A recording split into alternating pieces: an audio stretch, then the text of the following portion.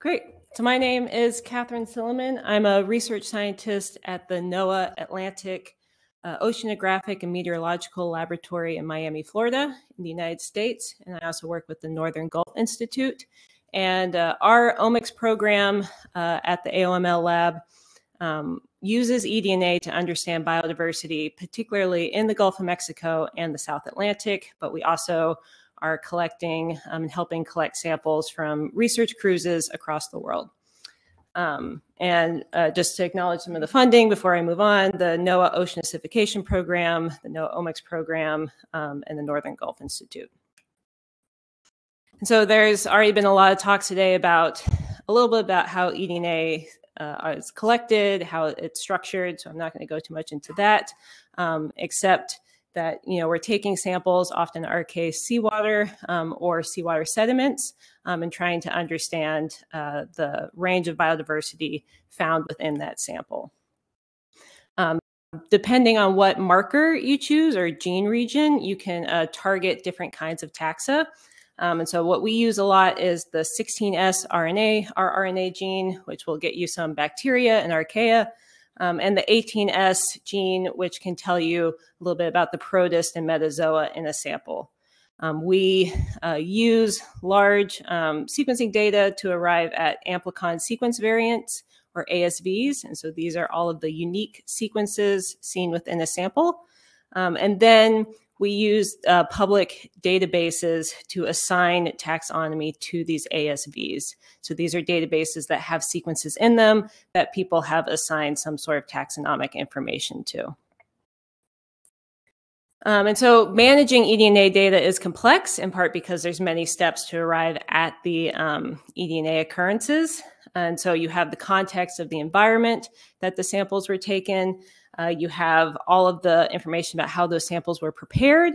Um, there's many different ways to process eDNA data to arrive at that taxonomic um, assignment. And then you have the actual um, observations themselves. Um, there's been mentioned today about some existing standards that help um, with recording all of this kind of data and metadata. So one commonly used community standard is the uh, minimum information about a marker gene sequence or MIMARKS. Also minimum information about any sequence, MIXS. Um, and then, you know, Darwin Core has uh, the DNA-derived data extension, um, which pulls from these other terms. Um, and you can also use Darwin Core occurrence to talk about the actual um, sample and occurrence uh, context itself. So the uh, and so in addition to the challenge of just organizing all of that information so you really know the provenance of how you got to your um, eDNA occurrence, uh, there's a lot of different places you're expected to put your data uh, along the pipeline, and we've heard about that a little bit today. Um, and so in the United States, our raw sequences are deposited in NCBI. Um, what we'd like to do is then also um, put those ASVs and those occurrences on OBIS, on GBIF. Um, but then we also have all of the environmental observations, some of those which you can put on OBIS and GBIF, um, but we also have you know requirements in the United States of where they'd like us to put environmental data. Then you have all of the code protocols for how we arrived at these assignments. Um, you know where is a good place to put all of those scripts. Um, so this is a concept map uh, um, courtesy of Matt Biddle at um, the National Centers for Environmental Information of what we'd like to do. Um, but even this is a lot to ask for any um, standard researcher. Um, so what our group is trying to do is, is start to make um, templates and workflows that can make it easier just for us because we have many thousands of samples that we're trying to make publicly available, but ideally make it something that can be applied across NOAA with a lot of the omics work that we're doing um, and maybe be useful in format um, to other folks as well. And so we're calling this the Study Data Management Strategy, the SDMS.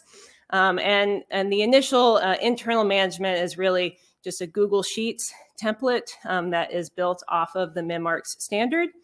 Um, and so the goal is to help you organize your data internally in a way that's that's um, user friendly, but also makes it really easy to submit the data that you need to submit to NCBI because at the bare minimum, um, that's something that, that we're going to do and, and that the folks we work with are going to do.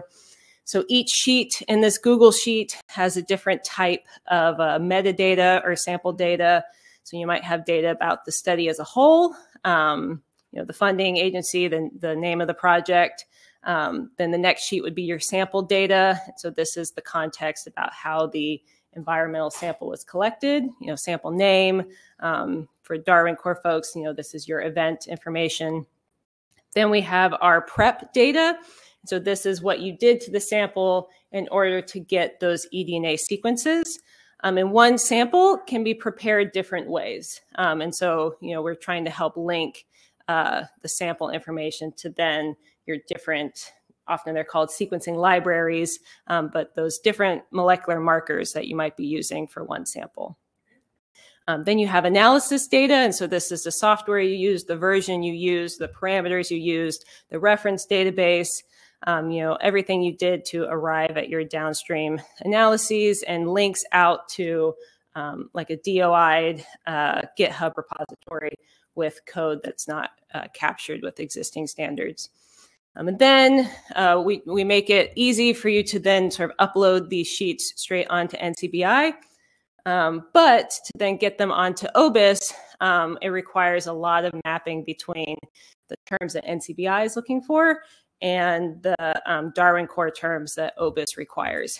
Um, and so uh, I've developed um, a code workflow that uh, is linked to right there that you know, I'm calling eDNA to OBIS. So really, really clever, but is sort of helping map between our metadata uh, template to get you to your occurrence, your DNA derived data, um, eventually an extended measurement or fact, and then using the uh, IPT to um, get your metadata XML. Um, and so, uh, um, so yeah, I, I, explained the workflow a little bit just then. Um, in the interest of time, I'm going to uh, hop forward to talk about some of the challenges um, that went through with this use case. And so we have uh, a cruise that went out in 2021 in the Gulf of Mexico. This had uh, 484 samples um, across 54 sites. These are sam water samples taken from a Niskin bottle and then split up into three replicate water samples. And uh, that were filtered on these Sterivex filters. And then each uh, water sample we did 16S or 18S sequencing on. Um, and, and, this data is publicly available on GBIF and OBIS. Huge shout out to Steve Formel um, with GBIF and OBIS USA for, for helping get that through. Um, so ideally, it'd be great to really record the event hierarchy between the Niskin grab, um, our replicate water samples that are each extracted separately for DNA, and then the different treatments uh, that we did in the lab, um, whether it be 16S or 18S. Um, the current uh, um, currently, GBIF does not allow you to link the DNA derived extension um, with an event core. Um, and so we can't really have the hierarchy the way that it would be, uh, in my mind, most helpful to have, and that is used for other biodiversity uh, observation hierarchies. But it sounds like the new data model will be helping fix that. So right now, we instead record that information in a different field. Um, another a big challenge is that OBIS uh, requires you to have your taxonomy uh, matching to WoRMS, which is the World Register of Marine Species. Um, WoRMS uh, is great for many things, um, but it does not have a lot of uh, microbial taxa in it, um, and especially for 18S and 16S, that's what we're that's what we're getting. Um, and so, uh, you know, I have some code that helps you get the best match you can in WoRMS for an assigned taxonomy. But a lot of times that means that you're going to have to assign it to a much higher taxonomic rank than you actually um, had from your, I see some head nodding, someone knows the problem, that you actually had from um, your assignment. Uh, and also the term eukaryota is not in WoRMS, um, but is, is commonly um, applied with these uh, public data sets. And so, you know, how do we handle that? Um, and so this is just highlighting in blue are the uh, taxonomic levels that uh, were assigned with um, our, our pipeline. And then orange is uh, what percent of our um, taxonomic assignments were able to be mapped to WoRMS. Um, and so you can see at the uh, genus or species level, a lot of our um, sequences we're just not able to find a good match on WoRMS. Um, and that does get better, um, but it's definitely uh, something that, that requires um, some working with WoRMS to figure out. Um, so there are some recommendations for how you can show your, um, yes, for how you can show uh, that taxonomic information that was assigned, but you know, figuring out really the best way to capture the whole taxonomic string um, is not fully explained in the existing um, documentation. So that's something that I've been working on a little bit, and I'd be definitely happy to talk about more afterwards. Um, and then there's just challenges matching between MIMARKS and Darwin Core. Um, you know, uh, MIMARKS only has one term per depth. Darwin Core wants you to have two, the minimum and the maximum. So it's not always a one-to-one -one in terms of how you convert these things and, and how do we make that easy. And then with that, since I think I'm short on time, uh, next steps is to better include environmental measurements using the extended measurements or fact file. Currently, it's a Jupyter notebook, but I'd like to transfer that to make it a more automated uh, Snakemake pipeline, um, and then also turn it into a reproducible uh, Docker container so folks would be able to run it um, easily on, on uh, if they just have Docker installed. Um, with that, I'd like to acknowledge Luke Thompson, whose lab I work at at NOAA AOML, Sean Anderson, who did the collection, um, and uh, my funding.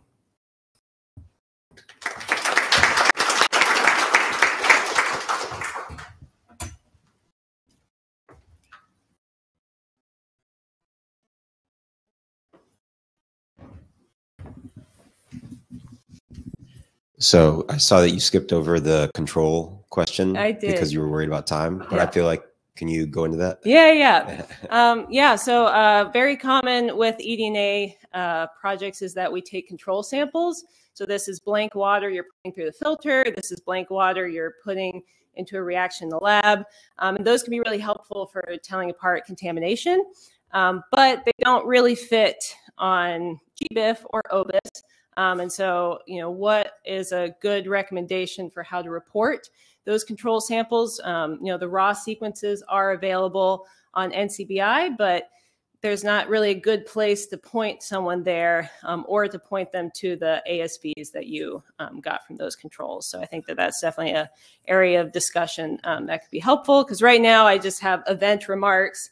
Here are the controls used hopefully you'll find them, you know, one day. Um, yeah, thanks, Steve, for pointing that out. So I, if, if folks have other thoughts about the best way to report that, handle that, um, yeah, I, I'd love to hear it. Two questions and then Uh, it's a nice presentation. So we are also working on publishing marine dataset to OBIS and GBIF. So uh, my question is like, as you mentioned that like we have the, we can't link the DNA derived extension to the event core. So we have to link it only with the occurrence core. So how you deal with the measurement uh, data, the EMOF extension when you use it? So do you link like, uh, for example, we have a sample and then for one sample, we collect uh, lots of other information like abiotic information like temperature, salinity. So these are linked in the event level. But when we add the measurement data at the occurrence level, we have to add all those measurement event level measurements into the occurrence level. So how do you deal with it? Yeah. Um, so yeah, we uh, this is something Steve and I um, have been working on a little bit, but we have not actually put an extended measurement or fact up yet. The plan is to have a very very large file where each occurrence ID, so you know that's 300,000 occurrence IDs just for this project, would have all of the measurements for the event, um, which is certainly not ideal, but would be currently the only way that you'd be able to have that information. So yeah, that's the problem that we have, we are currently facing. So what we have done is like, we are not uh, publishing the measurement data at the occurrence level. We are still publishing it in a event level, but through the other web services. Like Yeah. yeah, Yeah. I, I think I think um, in the short term, like we And- will have a link to NCEI where that information is also hosted. And um, maybe the GBIF new model will resolve this issue. Yes, we are hoping yeah, for, that's that's what they keep saying, right? Yeah, yeah. I would like to throw two provocations for the lunch discussions. If you compare what is going on in this session to other sessions at TDWG, taxonomic sessions and, and annotation sessions, you will notice the difference that in the eDNA and metabarcoding context, publisher provided name, more often than not, will be a historical illustration of what it was at the moment of publication. And your annotations, your latest name interpretation will be the name to use and uh, I think that is uh, a difference, and people working with the nomenclatural systems locally or internationally should take this into account. And the and the other uh, and the other similar aspect of of uh, of this is that um, provisional names maybe even actually more common than the accepted names when you handle eDNA and metabarcoding data. So they cannot be treated as second or third class, or we do it in three year, like th th uh, in three years uh, or five years perspective, simply because there is no formalized name under the code. Uh, because I think your own country or your own community will be pressing you hard to handle them first, maybe even ahead the formal Latin names. Uh, and thank you very much for the very uh, inspiring talk. Lots of uh, lots of great ideas there. Thanks.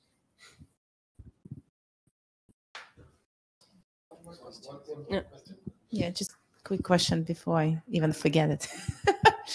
Don't you think that, you know, because you highlighted a lot of challenges with matching, you know, between taxonomy in different um, resources that you used, like Silvaworms and others.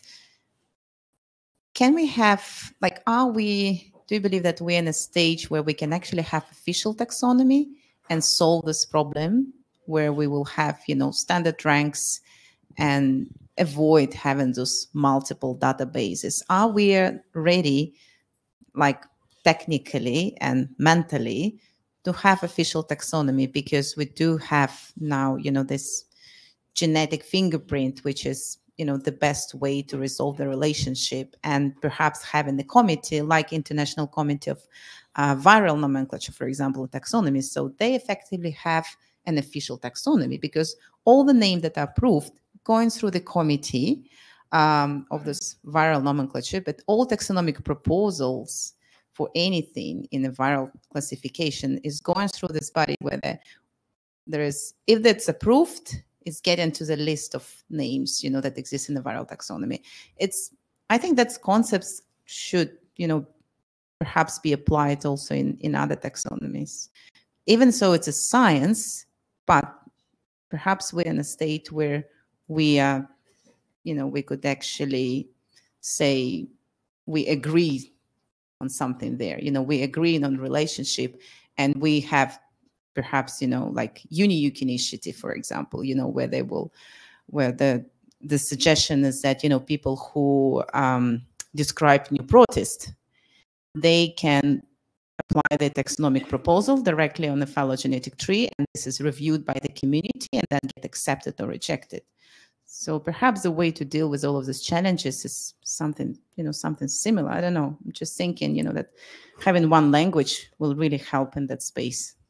Yes, yes to all of that. Um, I mean, I'm I'm I'm not a taxonomist. Um, I, am not even a microbial ecologist, but I I think much more crosstalk between the reference databases that people are using, um, between NCBI and the other um, like large international sequence databases who they get the sequences first. And a lot of people make their databases directly from them. And then NCBI says, we're not a taxonomic authority. Don't trust our taxonomy. But that is where people get their taxonomy.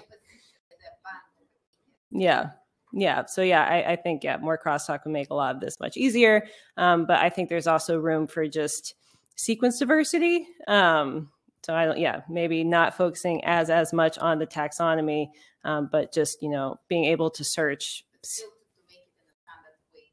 Yes, yeah. So that would be that would be really great. Yeah. We need more standards. Thank you. Was a good presentation. So uh, the next one is a recorded presentation online by uh, Rachel on uh, marine megafauna. I think it's it's close to being